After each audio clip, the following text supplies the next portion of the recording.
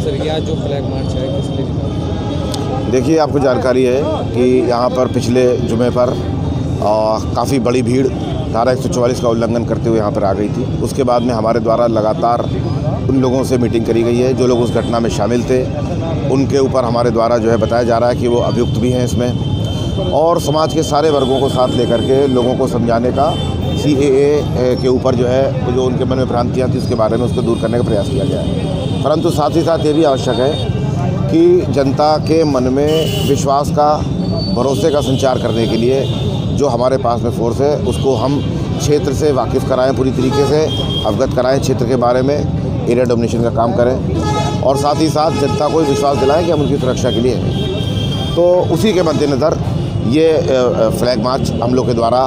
आज एक कई फ्लैग मार्चों की जो चरणबद्ध रूप से किया जा रहा था, उसी की श्रेणी में ये भी किया जा रहा है। सर जैसे कल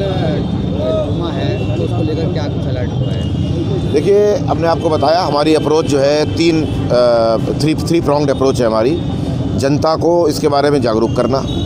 जनता के जो नेतृत्व जिन लोगों को प्राप्त है, उनको इस बारे में अवगत कराना, अपने साथ में जोड़ना, जन सामान्य को एस को, और तमाम जो पुलिस के मित्र हैं, उनको अपने साथ जोड़ना, और साथ ही साथ जो उपद्रवी तत्व हैं, उनको सख्ती से उनके ऊपर कार्रवाई करना, उनको पाबंद करना, उनको कुचल देना। ये तीन हमारी अप्रोचेज है। इन तीनों के आ, आ, जो आ, सारे प्रयोग तीनों के सहयोग से इन तीनों अप्रोचेज़ के आधार पे हमें पूरा विश्वास है कि यहाँ पे हम शांति बना करके रखेंगे और ऐसे तत्वों को हम हावी नहीं होने देंगे।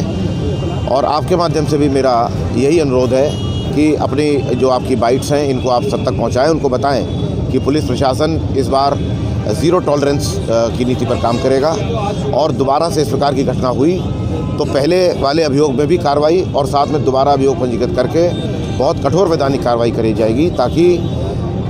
शांति व्यवस्था को खिलवाड़ के साथ खिलवाड़ करने वाले लोग हतोत्साहित हो सकें और उनको, उनकी सही जगह पहुँचाया जा सके।